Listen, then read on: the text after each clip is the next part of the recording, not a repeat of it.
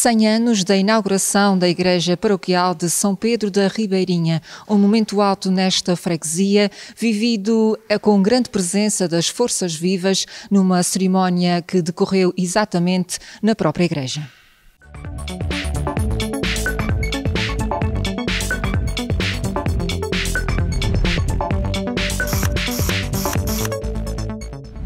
Esta data do 6 de maio uh, tem em conta que houve uma, uma sagração da Igreja, ou uma dedicação, dia 6 de maio de 2012. Mas como nós sabemos que a Igreja tem no frontispício 1924, não temos uma data da abertura oficial desta Igreja paroquial. Sabemos que ela foi uh, tendo sempre remodelações e então achou-se por bem associar as duas festas, uma que foi há 12 anos chamada a dedicação ou sagração com o centenário. Agora, uma data que nós sabemos que é, está mesmo registada é a data da benção. E esta será no dia 15 de novembro de, do ano que vem. Por isso temos um ano e meio praticamente para determinadas atividades. Este é um templo que marca a vida da comunidade cristã da Ribeirinha. Muito, muito, muito especial.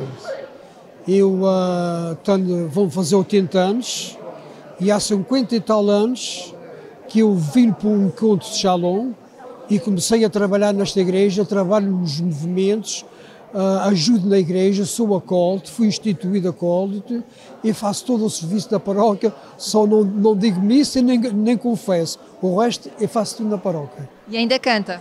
Canto. É, é um gosto participar para si nestas celebrações do centenário? Sim, muito, muito, muito gosto mesmo. O centenário da construção da Igreja Paroquial de São Pedro da Ribeirinha contou com a Eucaristia, na qual participaram diversos sacerdotes. A cerimónia foi presidida pelo padre Gregório Rocha. Alguns tiveram em funções, outros porque uh, fazem parte da nossa equipa, da, da, equipa que eu faço, parte que é chamada a Periferia Leste. Uh, que é o Padre Domingos, o Padre António Henrique, o Padre Luís Silva, mas outros também, no fundo, foram convidados vários sacerdotes. Agora eu sei que há, eles têm as suas reuniões, mas mesmo assim é uma representação. Foram convidados outros padres que são de outras ilhas que tiveram a trabalhar nesta, nesta paróquia e não puderam estar. Digamos, teve o, uh, o, uh, o padre Jacob, que agora é o ouvidor, e que era para estar, mas pronto, hoje ficou doente. Na ocasião foi benzido o novo cadeiral, ofertado pela Junta de Freguesia. A Junta de Freguesia ofereceu aquele cadeiral que foi benzido. Eh, é um cadeiral uh, novo, porque o que nós tínhamos já, já era antigo, e então a Junta ofereceu a parte principal a cátedra ou a cadeira de presidência, que é uma das funções que, como o padre falou, que é importante na própria celebração. E por isso é que ela foi benzida. No ofertório alinharam as forças vivas da Ribeirinha, a animação litúrgica coube um coro preparado para a ocasião. O seminarista Fábio Silveira tem dinamizado coros da Ribeirinha nos últimos quatro anos, em contexto de trabalho pastoral do seminário. Para este dia convidaram-se os diversos lugares da freguesia e também o coro juvenil. Este ano estou eh, em mais um ano, estou a completar o quarto ano, eh, que estou à frente do grupo com a, com a Bianca e, ao mesmo tempo, coordeno outra, outros grupos eh, da paróquia, como o grupo de jovens também tem uma colaboração e hoje tivemos aqui uma presença, quis fazer esta partilha uh, coral com eles, porque eles também fazem animação das nossas missas. Portanto, o nosso grupo coral é responsável por animar as missas dominicais que ocorrem ao meio-dia e meia aqui na Igreja paroquial, podemos dizer Igreja Matriz da Freguesia, e o grupo de jovens uh, faz a animação litúrgica uma vez por mês, quando há a missa da catequese, que é uma missa mais juvenil. Como é que tem sido trabalhar, uh, quer com os séniores, quer com os jovens? É um desafio, é um desafio muito grande. Um, este coro, estavas-me a, a perguntar no início, este coro que foi apresentado hoje é um coro excepcional, uh, porque não é o coro da paróquia, é um coro que foi constituído para esta celebração. Foi dado lugar uh, nesta celebração a que incorporassem todos aqueles que pertenciam aos grupos corais dos centros de culto da, da freguesia, que são três: a Ladeira Grande, Santo Amaro e aqui São Pedro da Ribeirinha. Veio quem quis vir, quem pôde vir, porque isto é uma freguesia muito ativa, muito cheia de festa e é festas atrás umas das outras e alguns estão a descansar de uma festa de ontem e a preparar-se para outras nas próximas semanas. Portanto, tivemos aquilo que foi possível e foi um coro constituído então por estes três grupos do centros de culto, mais os jovens que também se associaram aqui. É claro que eu quis dar um destaque uh, porque os cânticos que foram escolhidos foram específicos da liturgia de hoje, que é a dedicação da igreja do dia 9 de, de novembro, a Basílica de São João de Latrão. Uh, e o grupo de jovens não tinha realmente repertório que pudesse complementar mais uma liturgia destas. Por isso quis também dar um destaque e meter uh, um cântico de ação de graças mais de cariz juvenil, para vermos que a nossa paróquia, a paróquia da Ribeirinha, é dinâmica eh, e abrange todas as faixas etárias e não está morta, está viva e tem um futuro promissor à vista. Os jovens têm um grupo muito presente nas atividades que dizem respeito à Igreja. É um grupo muito ativo, somos 40 elementos, uh, fazemos diversas atividades.